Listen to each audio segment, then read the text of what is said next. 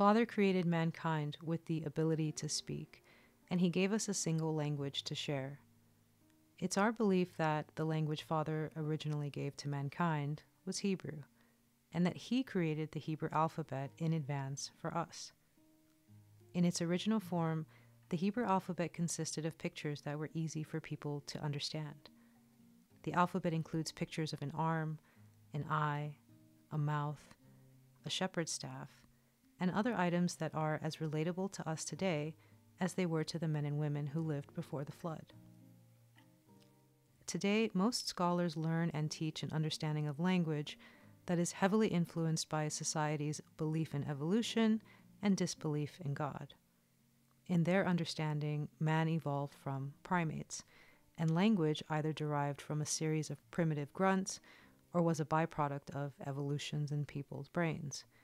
Evolution, they say, produced the languages. It's widely taught by biblical and secular scholars alike that the Hebrew language in particular didn't even exist in the time of Abraham. Anyone trying to understand biblical language and writing should be aware that most scholarship on the subject is debased by these frameworks of thought. However, the scriptures teach us that Hebrew was in use even before the flood. As one example, the Spirit of God had Moses record the words that Eve used when she named her sons. She called one son Cain, Cain in Hebrew, because she had acquired a son from God. The name Cain comes from the Hebrew word for acquired, which is kana. She called another son Seth, Sheth in Hebrew, because God had appointed another son for her. The name Sheth comes from the Hebrew word sheath, which means appointed. There's also Noah, who was named for the comfort he would bring. Noah's name in Hebrew is Noach, and his name comes from the Hebrew word Nacham, which means to comfort. Cain, Seth, and Noah were all given Hebrew names with Hebrew meanings, and this was before the Tower of Babel, when only one language existed on the earth. It's clear from reading the Bible that Father has books in heaven. He certainly did not wait for mankind to develop an alphabet before he began recording events and placing names into his book of life. Therefore, we know of at least one writing system that he authored, the one he created for his own use. Some believe that for us here on earth, he used a derivative of Egyptian made hieroglyphs to write his Ten Commandments on the stone tablets. But Egyptian hieroglyphs were used to glorify Egyptian gods. It's doubtful that he used their symbols to write the words, Thou shalt have no gods before me.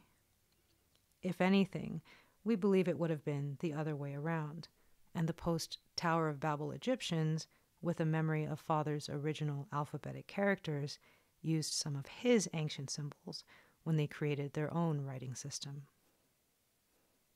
The original Hebrew alphabet consisted of pictographic symbols, and Hebrew words in their original pictographic forms show clear evidence of Father's intelligence and foresight. Here are a few examples. The Hebrew word for walk is a picture of a staff and a hand.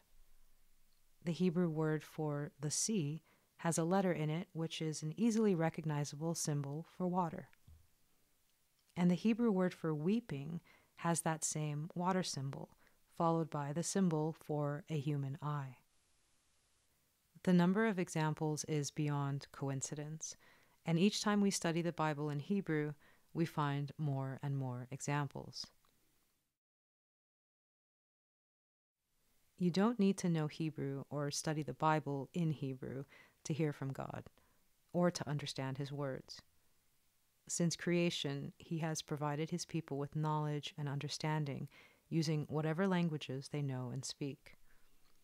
We study Hebrew because it's fun to investigate the things His Spirit inspired men to write.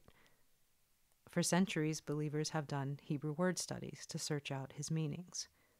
For us, studying the meanings of His words includes looking at the letters that make up those words.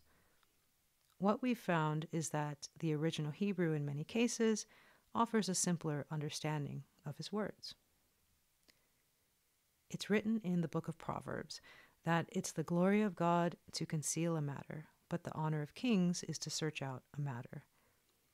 If you take a look at that verse in Hebrew, not only is it more poetic than the English translation, but it appears to hold a biblical basis for those of us who like to do word studies. It reads, Kabod Elohim Haster Dabar, Ukabod Melakim Hakor Dabar. A more literal translation of this verse would be It is the glory of God to conceal a word, and the glory of kings to examine a word. At the Tower of Babel, it's written that Father looked on man who was of one speech and one set of words, and he mixed up their sounds so they couldn't understand one another, and so they could not act in one accord, because their plans and their ways were not his. But his prophet Zephaniah told us that when his kingdom comes to earth, he will return to his people a chosen and pure speech, and that this language will be restored for the very purpose of man acting in one accord. Because in those days we will use our common speech to call on his name and serve him together. That day of a chosen speech that we can all speak is yet to come, but it is coming soon. The restoration of his language is part of the end of days restoration of Israel. We're living at a time when people throughout the world of every race, language, and nation are hearing his voice. And his voice is telling them that Israel is their heritage. To identify and regather all 12 tribes of Israel is the great work of the Lord in the end of days, as spoken by the prophets. Today, many from the tribes of Dan and Asher, Naphtali and Manasseh, Ephraim, Reuben, Judah and Levi, Benjamin, Simeon, Issachar, Zebulun, and Gad are finding themselves being put together bone by bone and muscle by muscle, as the prophet Ezekiel foretold. For us, learning Hebrew is one part of the bigger picture of discovering the heritage of our fathers. At the end of tribulation, we are promised a kingdom, with Jerusalem as its headquarters, Yeshua on the throne as King of Kings, and the land promised to Abraham portioned out to the tribes of Israel and the believers in Yeshua who sojourn among them.